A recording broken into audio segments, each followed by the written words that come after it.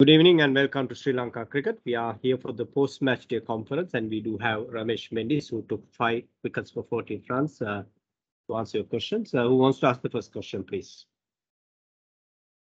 I can see Sadi Tawfiq. Uh, go ahead with your question, Sadi.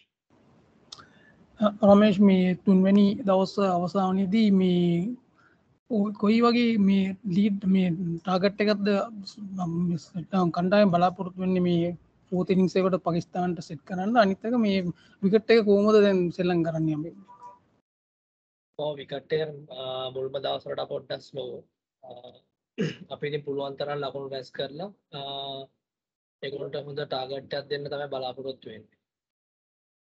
Rex, go ahead with your question. රමේශ පලවිට සරග ලකුණු තුන් සතරිස් දෙක target එකක් දීලත් පකිස්ාන කණ්ඩෑම එය අම්බා ගියා. ති ඔබ හිතන්නේ ඔබ කිව්වා හොඳ ටාගටයක් දෙන්න බලාපොරොත්තුන කියල කණ්ඩෑම මේ අවස්ථාව වෙනකොට පොඩි තීරණය කරන් තිරද මොකක්දේ හොඳ ටාගට්ටය කියෙන ගැන? තාමම තීරණයක් කරගෙන්නෑ අප පුළුවන් තරම් වෙලා පන්දුර පහර දෙන්න තමයි බලන්නේ. ඒකම අපේ දැම් බෝලිං පාර්ටනශිප්ය පොඩ්ඩ හැදිගෙන එන ගමන් තියෙන්නේ. ප්‍රබාට්ට සපෝට්ටත් දෙන්න තමයි ප්ලෑන් කරන්න මම ඇතුළු දුරිත් එල්ලාලගේ සර with your question. රමේශ් මේ තරගේ ඔබ නැවතත් කඩලු අතරටන කඩලු පාක් ලබාගෙන රමේශ් පෙන්ඩික්සේ අර මුලින් තරංගවල තිබිච්ච කඩලු ලබා ගැනීම පසුගේ තා ඉනිව දෙක තුනේ දක්නට ලැබුණ නැහැ නමුත් අයත් තරගයට අවතීරණ වුණා මං හිතන්නේ කඩලු පහක් ලබාගෙන මේ තරගයේදී කඩලු පහ ගැනීමත් සමග මොකක්ද ඔබේ අදහස නැවතත් ඉතා හොඳින් පන්දු යමින් දැක්වූ දක්ෂතාවයකින් අන්තිම ඉනිස් දෙකේ වගේ මට මේ ලොකුවට කඩු ලබා ගන්න නෑ. එක දෙක දෙම තමයි ලබා ගන්න හැකි වුණේ නමුත් මේකෙදී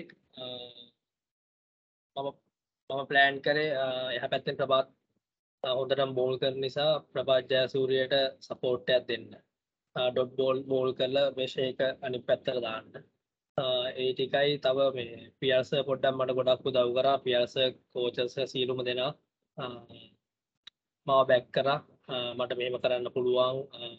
මම මෙහෙම කරපු ගෙන ඒ තියෙන විශ්වාසය මා වෙත ලබා දුන්න. මං ගොඩක් ස්තුතිවන් දෙනවා සීරුව දෙනාට ටීම් එක ඔක්කෝටම මට ඒ වගේ දෙයක් ලබා දුන්නා. Davinder, go ahead with your question, please.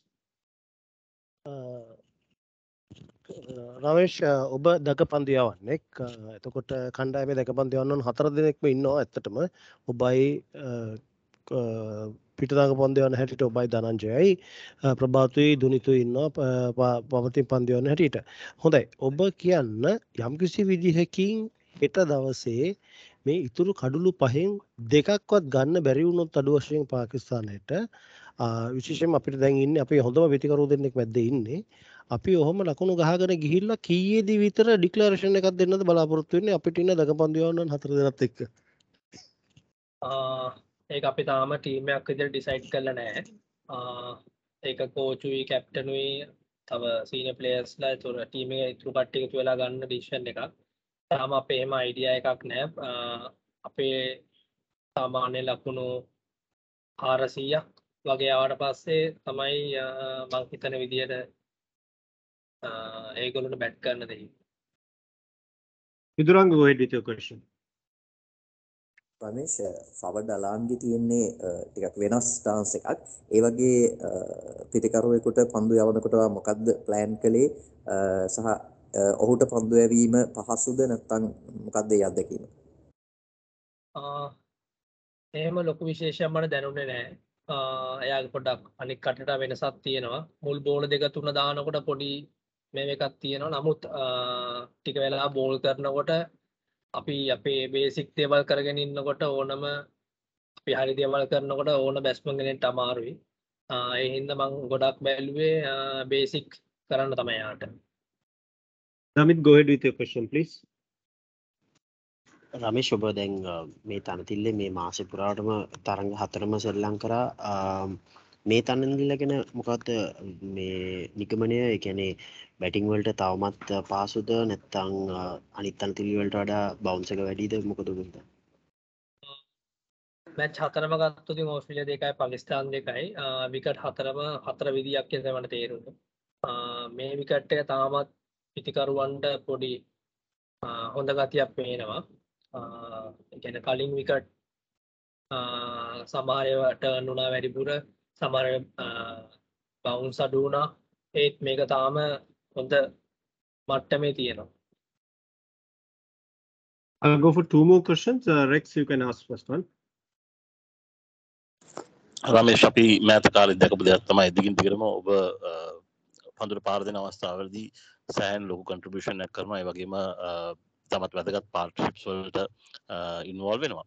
මේ ඔබගේ බැටිං කියන එක ඔබ සීරියස් ගන්න දෙයක්ද? පිතිකරුවෙක් වශයෙන් ඔබගේ යම්කිසි ඩ්‍රීම් එකක් තියෙනවද? එහෙම තියෙනවා නම් ඒ මොකක්ද කියලා අපිට පැහැදිලි කිරීමක් කරනවා. මං යනකොට හැමතිස්සෙම බැස්මන් කෙනෙක් තමයි ඉන්නේ. මම නොම්බරට තමයි කලින් ටෙස්ට් මැච් තුනෙම සෙල්ලම් කරේ. පර්මනන්ට් බැස්මන් කෙනෙක් තමයි නිතරම ඉන්නේ. එතකොට මගේ මම බලන්නේ යාට පුළුවන් තරම් සපෝට් එක දෙන්න අපි කොහොමද පාර්ට්නර්ෂිප් එක ලකුණු 10න් 10ට 50ක 60ක පාර්ට්නර්ෂිප් එකක් දාන්නේ කොහොමද? ඒකේ ඉස්සරහට ගෙනියන්නේ කොහොමද කියලා තමයි මම බලන්නේ. ඒ වගේම මම ලොකු ගොඩක් මහන්සි වෙනවා මගේ බැටින් පැත්තට මොකද මම නම්බර 8 විදිහට සෙල්ලම් කරනකොට ටෙස්ට් මැච් එක 8 9 ගහනකොට මගෙන් ලොකු දෙයක් බැටිං කරන්න පුළුවන් හැකියාවක් තියෙනවා. ඒ නිසා මම ගොඩක් මහන්සි වෙනවා බැටින් වලට. Namika final question. රමේෂ් දැන් මෑත කාලේ අපි දැක්කා ඔබ තංගපන්දු යවනකොට ඔබගේ අනිත් අන්තයෙන් කාලයක් අපි දැක්ක ලසිත් ඇඹුල් දෙනේ හිටිය. ඉතා හොඳින් ඔබ දෙපළ පන්දු යවමින් සිටිය තරඟ කීපයක්ම ඊට පස්සේ අපි දැක්කා. දැන් ප්‍රභාත් ජයසූරිය ඇවිල්ලා තියෙන ඒ වගේම මොතක් කරන්න බෑ නාවක පන්දු වේග පන්දු දඟ පන්දු යන දෙදෙනෙක්. දුනිත් පෙල්ලාලගේ වගේ මේ වගේම ඔබගේ වර්ගයේ පන්දු යන්න එක ලක්ෂිත මානසිංහත් ඇවිල්ලා තියෙනවා. මොකක්ද ඔබ මේ පන්දු යන්නන් ගැන හිතන්නේ? මේ වෙනස් වීමත් එක්ක ඔබ මොකක්ද දකින්නේ විශේෂයෙන්? නවක පන්දු යන්න වශයෙන් දුනිත් පෙල්ලා වගේ වගේම ලක්ෂිත මානසිංහ වගේ පන්දු යන්නනුත් අද කණ්ඩායමට එක්වීම ගැන. ඔව් මුලින්ම කියනුනේ මේ දෙන්න හොඳටම පන්දු යවනවා. ඒ වගේම ප්‍රභාත් අයියත් එක්ක මම බෝඩ් ලෙවල් මැච් එකක් ඒ ටීම් මැච් එකේම සෙල්ලම් කරලා තියෙනවා. ඒ නිසා මං දුනිත් එක්ක මුල් පාට සෙල්ලම් කරේ. ලක්ෂිත එක්ක මම සෙල්ලම් කරලා නෑ තාම.